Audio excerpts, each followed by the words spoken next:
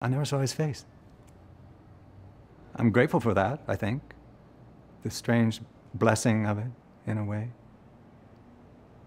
He was young, could have been a college student like those I'd just been teaching. Long, curly, dull blonde hair.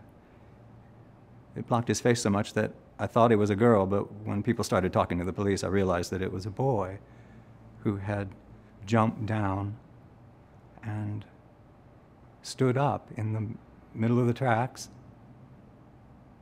in the middle of a perfect afternoon, a second before the train hit.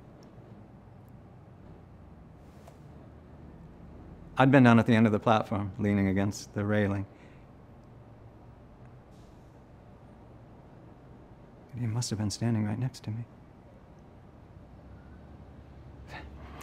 We were all watching the big yellow work train with the very tall engine that was about to roll past. Unscheduled, unwanted, a moving disappointment. And necessary, of course, but not the right train, not the one that would take us home. Which, of course, depends on where you're going. He jumped down on the tracks before we knew it.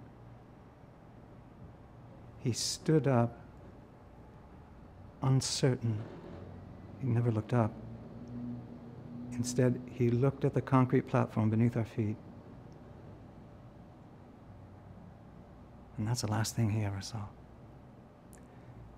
The bell on the engine drowned out all other sound. From my angle, I never saw the train actually hit him.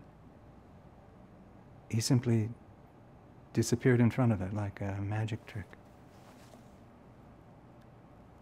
The train never stopped.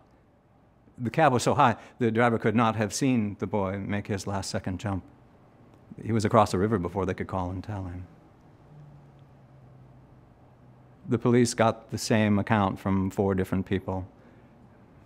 They said they had enough and that we could go. I was next in line. Nobody took my statement. And then a crew started collecting the body parts. I wouldn't watch. I wanted it to remain magic, which is to say, real but impossible shocking, blinding, even in a way, like a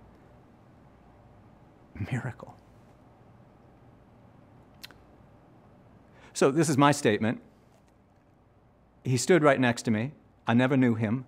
We never shared so much as a word or a look, but he taught me more than I had taught my students.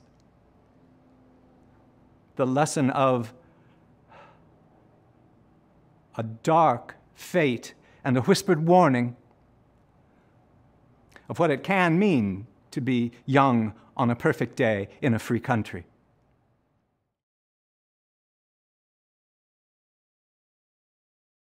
Who are you, America? That's the question Center Stage asked when we commissioned these 50 monologues. Want to learn more? Keep watching.